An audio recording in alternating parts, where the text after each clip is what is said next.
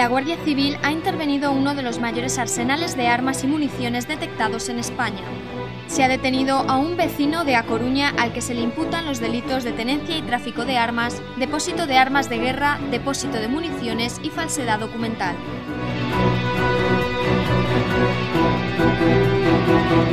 Los registros practicados se han intervenido 110 armas de fuego, entre ellas 30 fusiles de asalto, 18 subfusiles, 47 pistolas, 12 rifles y carabinas, 3 revólveres, así como 10 silenciadores, 5 kilos de pólvora, más de 130.000 cartuchos metálicos, piezas fundamentales para rehabilitar las armas, abundante documentación y equipos informáticos.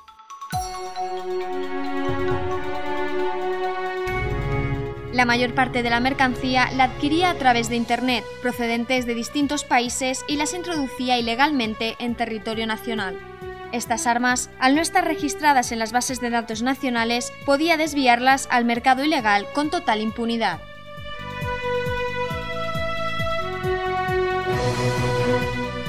El ahora detenido tenía instalado en Lugo un taller clandestino con la maquinaria y herramientas necesarias para realizar la alteración, reparación y puesta en funcionamiento de las armas.